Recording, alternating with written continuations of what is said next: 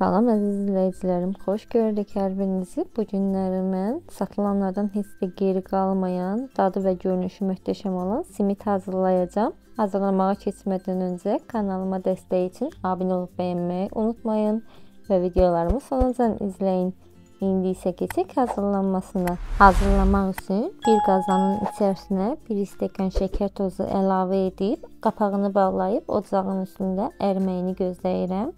Gördüyünüz kimi artıq əriyib, rəngi tündləşməyə başlayıbdır. Şəkər tozunu tamamilə əritdikdən sonra rəngini daha da tünd edib 2 stəkan üzərinə su əlavə edəcəm.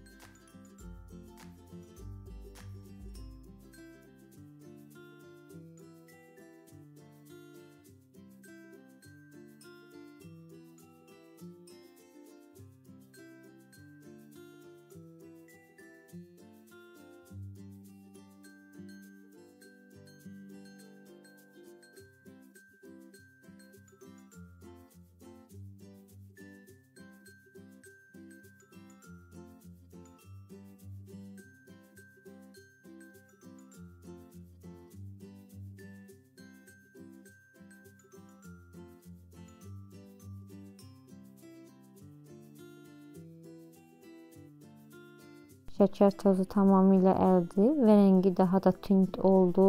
İndi isə 2 stəkan su əlavə edib ər tamamilə yumşalıb əriməyini gözləyirəm. Qapağını bağlayıb kənarda gözlədəcəm daha sonrakı soyusun.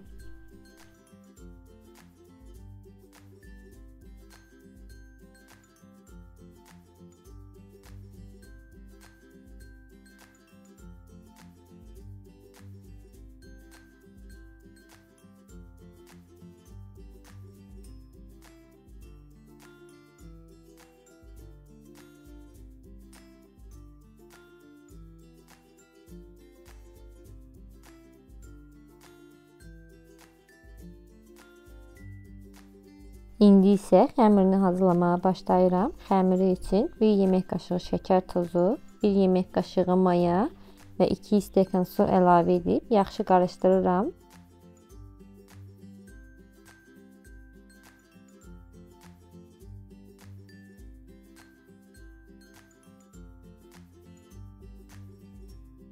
Mayadan şəkəri birlikdə qarışdırdıqdan sonra 1 yemək qaşığı otaq temperaturunda olan yağı əlavə edib və 1 çay qaşığı da duz əlavə edib təkrar yenidən qarışdırıram.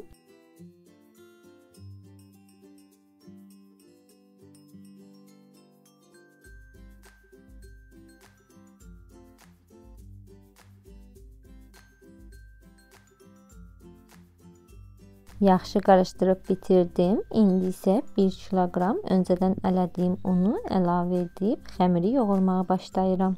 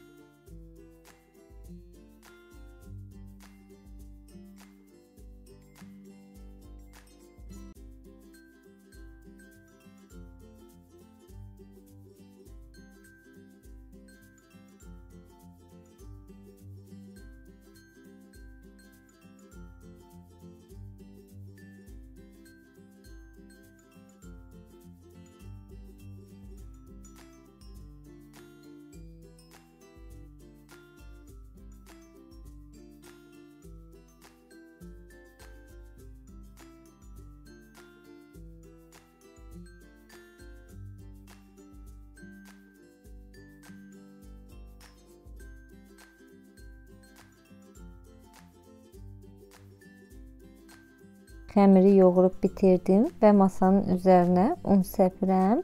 Xəmiri əlavə edib rulon şəklində yaymağa başlayıram.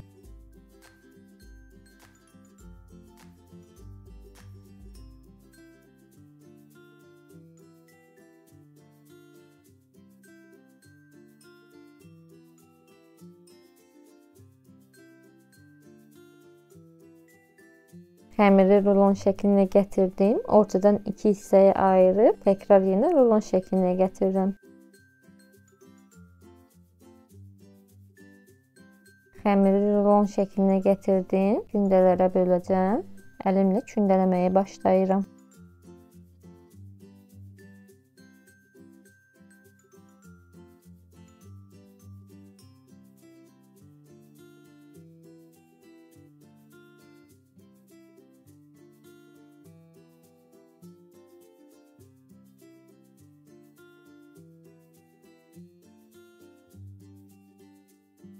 Xəmirləri yuvarlaq hala gətirdikdən sonra listin içərisinə un səpib kündələri yerləşdirirəm və üzərini streç klonka ilə bağlayıb 15 dəqiqə dinləndirəcəm.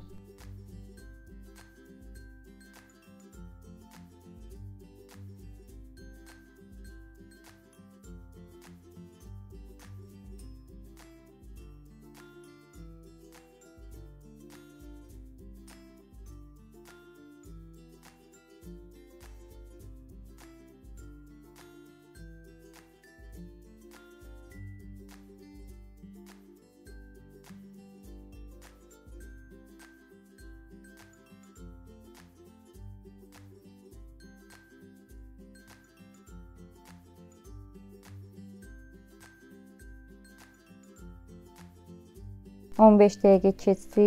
Kündələrim artıq mayalanıbdır. İndi isə əlimlə uzunsov şəkildə yaymağa başlayıram. Xəmirləri bu cürünə barmaq qalınlığında uzunsov şəklə gətirirəm.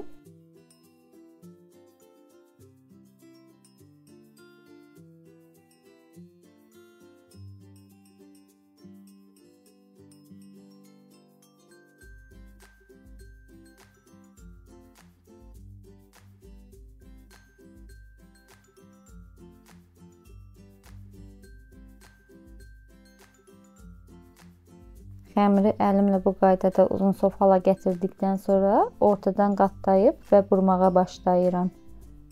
Uc hissələrini isə bir-birinin içərisindən keçirib bir-birinə dolayıram.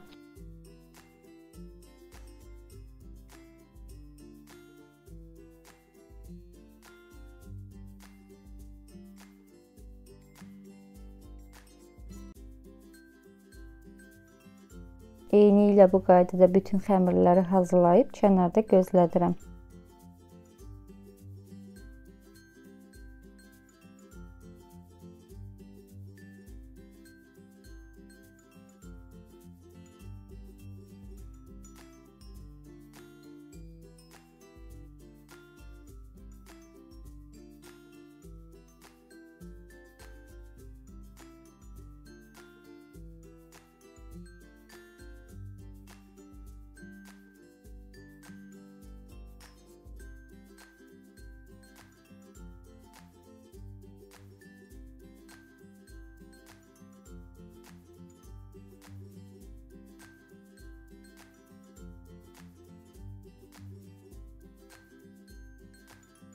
Hazırladığım xəmirləri rəngini tündləşdirdiyim şəkərli suyun içərisinə batırıb çıxarıram. Batırıb çıxardıqdan sonra qovrulmuş küncüsün içərisinə əlavə edib hər tərəfini küncütləyirəm.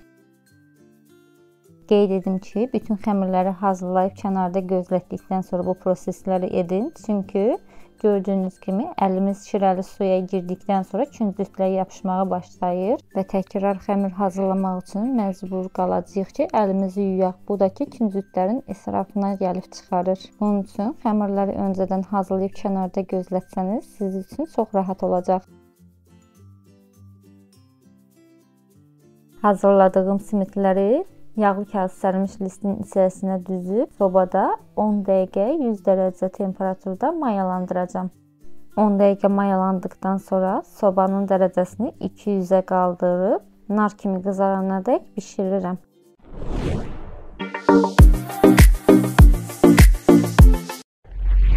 Və budur, artıq simitlərim bişdi. Gördüyünüz kimi çox gözəl, çox möhtəşəm alındı. Rəngi qıpqırmızı, dadı mükəmməl, xırçılısı yerində, satılanlardan heç də geri qalmayan evdə hazırlaya biləcəyiniz mükəmməl simitdir. Evladlarınızı məktəbə yola salarkən öz əllərinizlə hazırladığınız simitləri qoya bilərsiniz. Hazırlayacaq olanlara öncədən nuş olsun deyirəm. Kanalıma dəstək olmaq üçün abunə olub zil butonunu aktiv edin ki, paylaşdığım videolarda anında xəbərdar olun və videolarımı yaxınlarınızla paylaşıb sonacan izləməyi unutmayın. İzlədiyiniz üçün təşəkkür edirəm. Gələn videolarda görüşmək ümidi ilə hələlik sağ olun.